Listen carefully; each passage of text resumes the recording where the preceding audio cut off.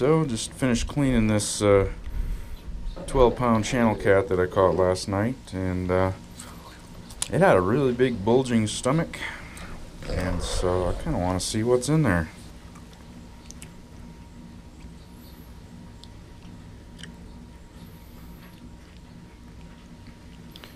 Holy crap. You know what this is? This is all